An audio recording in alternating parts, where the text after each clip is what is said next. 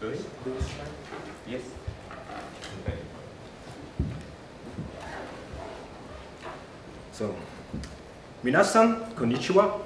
私はアンドレア・アントネロ。イタリアから来ました。今日、この場で皆様にオープンソース GIS についてお話できることを嬉しく思います。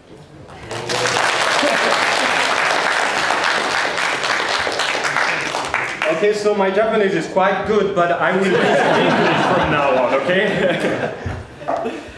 this is very important to me because at the end of a presentation, if there are different languages, people are afraid to ask questions just maybe because their English is not good. So I made myself miserable doing Japanese, so you won't be afraid to ask me afterwards. Okay, so uh, this needs to be switched on. Ah, so, uh, okay. Okay, who am I? He already told, but I didn't understand, so I will repeat maybe some stuff. I am co-founder with Silvia, you've seen her before, uh, of this small, small company in Italy. It's called HydroloGIS, and we are uh, kind of like the FOSS4G here in Osaka. We exist 10 years now. So we do only open source GIS development. And I do also research at the University of Bolzano. And in the OSGeo world, I'm uh, in the steering committee and do development of UDIG, uh, mostly the spatial toolbox and JGRASS tools. Uh, we also developed uh, some plugins for UDIG to do digital field mapping. So you take your uh, tablet and go out in the field mapping obviously this project stopped being developed at that time in which mobile phones and tablets came with Android. So the project I'm now supporting, develop and coordinate is GeoPaparazzi. Uh, this presentation wants to be a bit more generic about how did we get to GeoPaparazzi. So how was the history First of all, I think we should go back and have a look at history, not so much of Android or whatever it is, but really on mobile. So what happened back in the days? In 1991, mobile market penetration was 0.4%. Penetration means, for those that maybe don't understand it, 100% uh, penetration means every inhabitant has a mobile phone and an active line. In 91, it was 0.4% worldwide. Sweden was very forward with 6.6%. 2010, we had a 91.1 percentage of mobile market penetration. In 2002, Luxembourg reached already 100%. Every inhabitant had at least an active line. And it's interesting because mobile was first used by businessmen, so maybe we understand why Luxembourg, which is a very particular economical situation, reached first the mobile penetration of 100%. In 2011, we had already 105 countries worldwide with a mobile uh, penetration that had more activations than inhabitants. In 2010, in Saudi Arabia, we had almost two active lines per inhabitants, whereas in the United States, we were still at 90% of penetration. In India, in 2011, India woke up and had as many or more activations than Europe, Russia, and Arabia together. And this brought an obvious consequence. The internet traffic increased incredibly since we have smartphones and tablets and are basically always online. What about the coverage? Where can we surf? In 2003, the world coverage was 61%. In 2010, about 90%. Talking about SMS, you now all use WhatsApp which is the what is called OTT, over the top SMS. Back in 2000, we had 70 milliards worldwide of SMS. This got 250 milliards one year later, and it got doubled three years later. And it got four times as much in the next three years. And then in 2011, we started to have also a ton of web messages, like WhatsApp, Telegram. And it is guessed that around 2013, the quantity of web messages has been more or larger than the SM actual SMS. Just to give a very quick idea of, we said there is a lot of coverage, but there is still kind of a big digital divide between developed countries and developing countries. As you can see here, oh, okay, anyways, um, we have globally a high activation, active lines, many active lines, broadband lines. But in developing countries, it's 8% against 51% in developed countries. So there is still a quite high digital divide. This has to be considered. And one other very important factor is how much trash does this cost? Because I've seen uh, myself, I developing on, on, on smartphones, I change tablet and smartphone maybe once a year. But this means, I mean, I sell my smartphone to my mother, so I don't produce any trash. But lots of people throw away the smartphone. So this is just, I found only a report about USA uh, of the Environmental Protection Agency. In 2010, we had um, 64, uh, 46 millions of computers, so normal computers, and 235 uh, millions of uh, smartphone devices, mobile devices. The same year, the trash produced, have a look, is about half of it, which is really something to be considered and to be aware of at least. The next thing I would like to talk about is, do you remember how it all started? Because when I try to look back at some point, somehow you forget how difficult it was at some point, because now you're always online and you can, any application works on your tablet. It's really very powerful right now. But 1973, the year I was born, it was quite different. This is the year in which we make contact because after long years of research and competition with, between Motorola and Bell Labs, Motorola finally made the first prototype of what would be a mobile phone. And the 3rd of April, Mr. Martin Cooper makes his nice joke and makes the first known mobile cell phone call. And he called, obviously, Engel of Bell Labs to kid on him that he was faster than Engels. At that point, the phone was about one and a half kilogram. It was 23 centimeters long and took 10 hours to charge for 30 minutes of communication. this was the first one and it took several years before the mobile phone could be really commercialized. In 1983, the first is the Dynatec 8000X. It is the first cell phone that was commercially available and obviously it is businessmen that, that first were able to buy it and that needed it to be, stay connected. Another interesting point that I will always put in a corner is movies kind of reflect what's happening. So a few years later, Michael Douglas in Wall Street shows how cool it is to have a cell phone.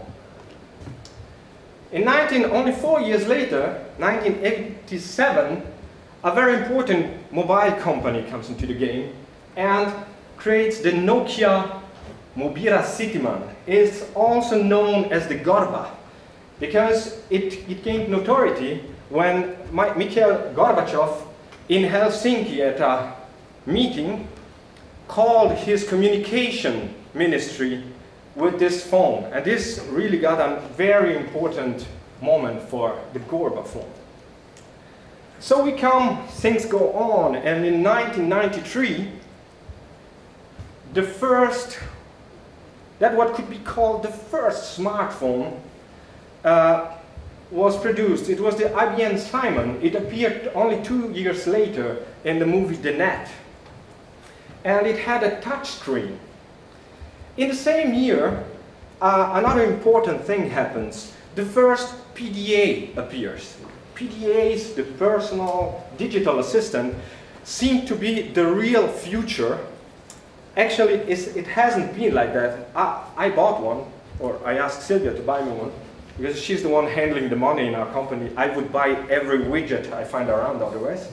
But I bought one, and after a few years, the PDAs were like put aside from what will be tablet and smartphones. 1996, we start to think about design on phones. This is the first phone, the Motorola StarTAC, is obviously to recall the Star Trek. It's the same, the first flip phone. And it was also the first phone that brought this trend of having nice phones that have some design on it. The Nokia communicator, which was really the first smartphone, it could also uh, send fax. You most probably remember that phone. And it appears in the movie The Saint in 19, one year later. In 1999, a very important phone for the Matrix, it is this flip phone, the Nokia 8110, and it's the first phone that supports the WAP protocol and was therefore able to browse the internet. That's a very important moment. In 2000, several came to the game. ah, you owned it, huh? you look like you owned it. uh, so, many, many cell phones are produced. In this year, the first cell phone with a camera is produced by Sharp. Samsung produces the first MP3 player-based one. And Nokia comes out with the T9 correction and the uh, first integrated antenna. It's also supposed to be the strongest phone around. I, I, in Facebook, you, you see people making jokes about throwing it against a house and the house breaks down, something like that. So a lot of variety starts to come onto the market. In 2007, the Nokia brings the N95. It's really a monster phone. I owned it because I promised I would develop an application for that phone with GPS because it had GPS, Wi-Fi, accelerometer. It had tons, tons of future. But this is also the last Nokia phone I own because it was a phone that was no longer competitor with what would come out the same year. That year, Apple, uh, Apple breaks the market with the iPhone. A phone that would be really a smartphone, beautiful, everybody would love it, and you can have music on it, internet on it, whatever. People camped for 100 hours outside the Apple store. It seems like they are doing it still. I don't know why, but anyway.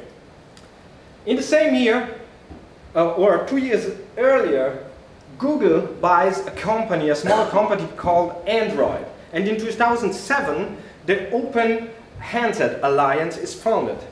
It's a bunch of huge companies that are going to define standards for the mobile devices. And in 2008, finally, the first Android-based device comes out. It's the HTC Dream. And just to have an idea, in 2010, the first Windows Mobile 7 phone, based phone was released. So Microsoft was not really believing in this market at that time, and they, are, they were really a bit lagging a bit behind. On this phone, GeoPaparazzi was developed first. Uh, the mobile shares at that point and in the years later started to be all of Apple and Android, while Symbian, that had been the base of all the operating systems, mobile operating system, until that point started to slowly go down. Um, so how does this relate to the geographical free and open source world?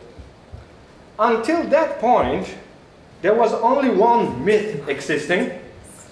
I know it's not a myth because I saw it, Marcus showed it to me, but this device was a prototype and stayed like that. It was never really usable. It was just to be, hey, look what we have, but who else would have it? Several years later, a quite nice mobile application from the GVSig community came out. It's the GVSig Mobile, not the GVSig Mini. It's the GVSig Mobile. It had support for editing and tons of features. You could even see ECW rasters on that device. And you could create forms. It had only one huge problem. It was built on an operating system called Windows Mobile, which even wasn't an operating system, it was some dirty stuff that was dying. So they made a lot of effort to create this application, but then it was kind of thrown away. Because at that point, Android had already taken over. Uh, a couple of, of projects, maybe you use a lot QGIS, there is a QGIS mobile version for Android, and it's in my opinion, not exactly the right thing to do. I prefer to have a very lightweight situation for the mobile for the mobile world and import my stuff and export my stuff from and to GIS. I don't want to have the whole GIS in the mobile. But anyways, this is it. And then there is another one, it's GVSig Mini, but it's not a port of the GVSig Mobile. This has very limited capabilities. And it's more for touristic use. I won't go on with this. There is a nice page on the OpenStreetMap wiki that lists all the Android applications that make use of OpenStreetMap.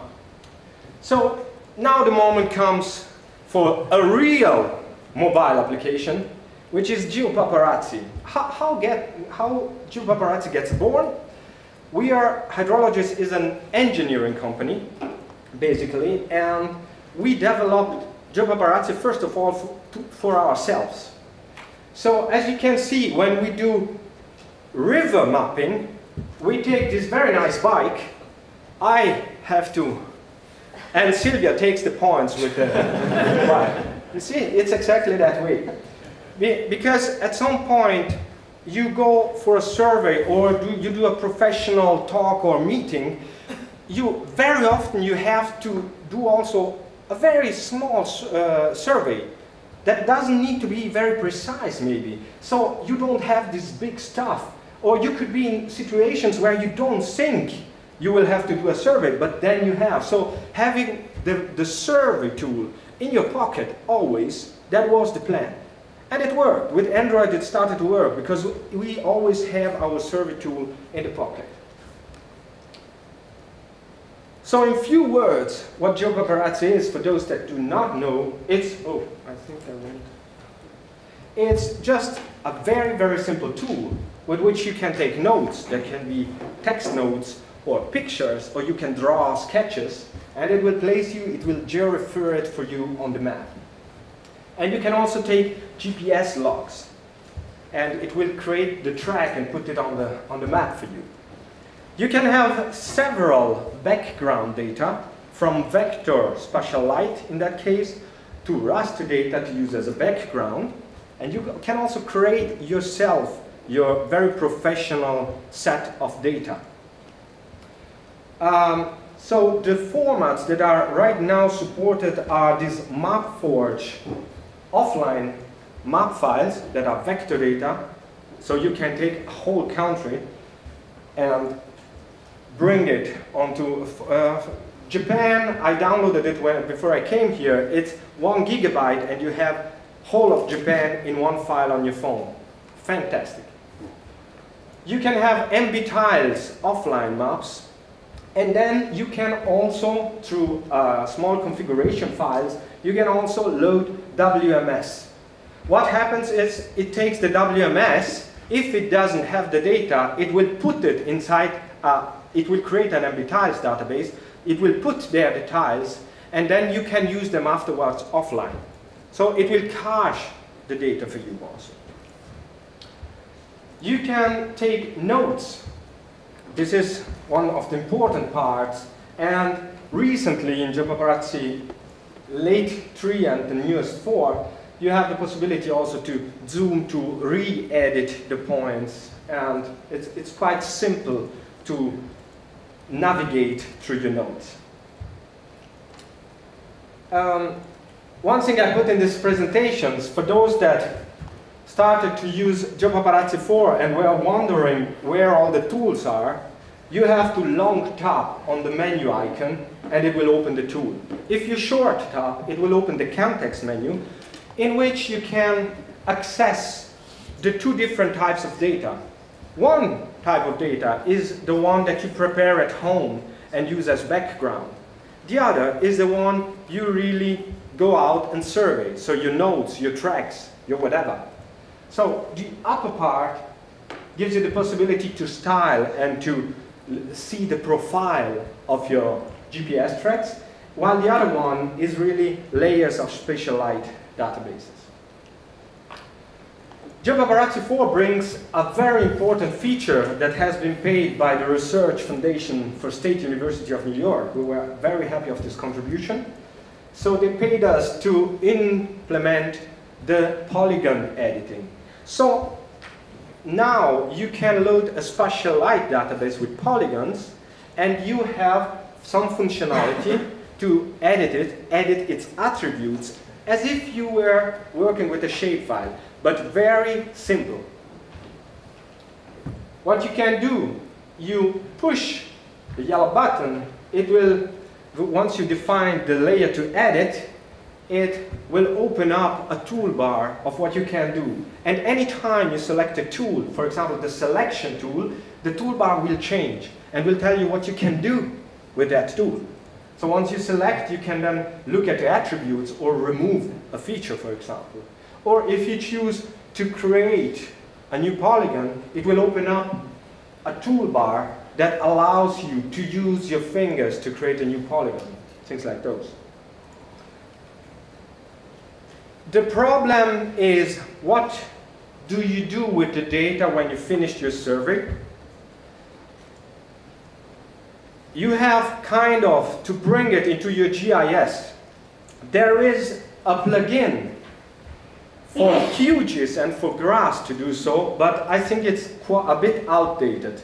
So what we do, we brought into open source the tool we use internally in our, uh, in our company, so this is called Stage. You can download it at that URL. And there is also a video at this other URL where I show how to simply convert your GeoPaparazzi project into GIS data. So this shows also the, the module is called GeoPaparazzi 4 Converter. There is also one for GeoPaparazzi 3 because the format has changed a bit. And once you convert this data, you will get a shapefile of points, which also will import all the data in your complex forms. You will get a shapefile of points with references to all the pictures you've taken. The pictures will be put inside a folder where the data are exported. There will be shapefile of your log lines and points, and another thing that is created for each log the profile chart, images of the profiles are created so that you can have a very quick look uh, even if you don't, uh, even without opening open office or something like that and you can have a look at what you did. what about the other way around? What if I need to visualize some background data? We have a module called GeoPaparazzi Maps Creator where you can very simply insert shapefiles and rasters, tell, create me a MBTiles database for Job visualization on a certain area, and you launch it and it will produce you this MBTiles database. You move it onto Paparazzi and you can just use it. These are really, really simple tools to use. Uh, I would like to spend a couple of last words, I'm already done, about projects based on Paparazzi. I'm very happy to see actually that in Japan, Paparazzi is way more used than in Italy. I would prefer to also have some people use it in Italy, but actually it has been done because there are some projects also in Italy. But I don't think it's so used as here, which so thank you. And some projects, for example, is one is the, you should know a disaster management information system. The screenshots are a bit outdated, sorry. the, the interface has been improved. Then we made a project for a university where in the background, GeoPaparazzi was used to gain uh, gas emissions. They were going with a tool which was connected in Bluetooth to the tablet and you could chart and have a look if there are gas problems. We also created something based on GeoPaparazzi. As you can see, it's very similar. It's called Smart Manhole. In Italy, they started to um, put the, the manholes under the road. So when they have to find them again to do some works, they sometimes have to open up half of the road because they don't know exactly where it was. And so we made an application where you can find through RFID tags, you know those small tags that are in the cart, you put it on the smart manholes, on the manholes, and you can find it with this nice tool you can see there. And the last project we did with another open source company, it's called Trackoid, and it's an application to do tracking of fleets or rescue to support rescue missions in the mountains. So you, this is a real-time tracking based on GeoPaparazzi where you can really see you have five devices going around the mountain. If the connection works, you will see it on your web application in real time. So you can send SMS to the people to tell to change the, the way or look in another position. So there are a part of the internet also uh, GMS communication if the internet fails. So I think this is all about my presentation and I leave you here with some links to the mailing list if you have questions or if you have problems and some other links about the website of GeoPaparazzi and the Transifex uh, I mean, GeoPaparazzi is uh, already very, very translated in, in Japan, in Japanese, so I don't think we will need somebody to go on that page. But anyways, I leave you to that. I leave you also in the whole first part, I showed a couple of statistics. Uh, these are the links uh, as reference where I took the information, just that I didn't take them think or invented them. So I'm very happy to say that the next presentation will also be on GeoPaparazzi, so I will leave the space to Hayashi-san. Thank, Thank you very much. Uh,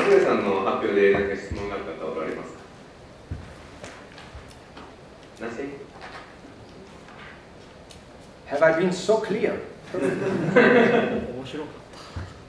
えー、っとあのツールの中でステージというツールを最後紹介されてたと思います。であのオフラインマップを作るツールとしてはあの結構有用なあものになるかなと思っています。で、えー、次は私の発表ですが